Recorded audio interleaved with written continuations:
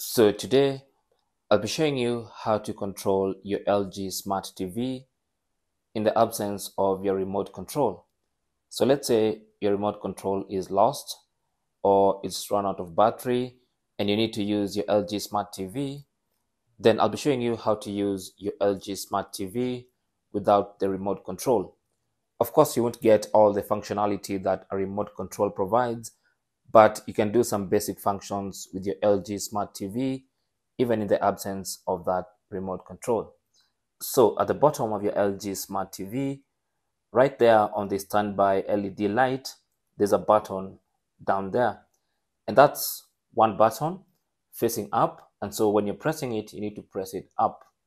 So if you press it once, when the TV is on, you should get this menu. Now, this menu lets you power off, uh, switch inputs, adjust volume, and adjust programs at the end. So it's the same button and it depends on how you're pressing it. So you can either press it once or hold it. And if you follow the instructions on the screen, then you can be able to navigate and select things and even go back simply using the same button. So press once and when you press once, the menu appears and it says press once to move, press and hold to OK. So if I press again, you can see the menu is moving like that. And I can scroll through the different options. So let's say, for instance, I want to reduce volume. So all I need to do is press until it until volume is selected and then press and hold to select that button. And once it's selected, it's going to turn gray. And now I can press to use that button. So press once, it reduces volume, press again, keeps reducing as you can see there.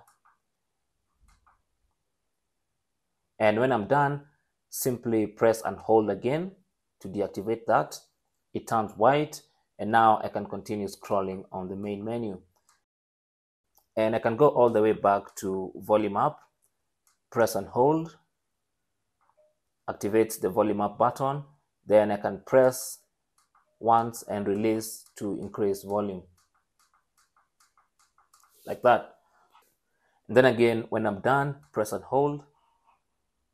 It turns white and I can continue scrolling on the main menu. Now, let's say I want to change inputs. For instance, simply put it on inputs and then press and hold. The input turns gray and now I can switch between the different inputs as you can see. I'm now on the antenna. I'm on HDMI 1. Pressing again takes me to HDMI 3. Pressing again takes me to HDMI 4. And I can go scrolling through all the inputs. And when I'm done, I press and hold and it takes me back to the main menu. So to switch off your TV, simply press that button once to reveal the main menu. And then when power off is selected, press and hold and it selects the power off menu and now the TV has been switched off.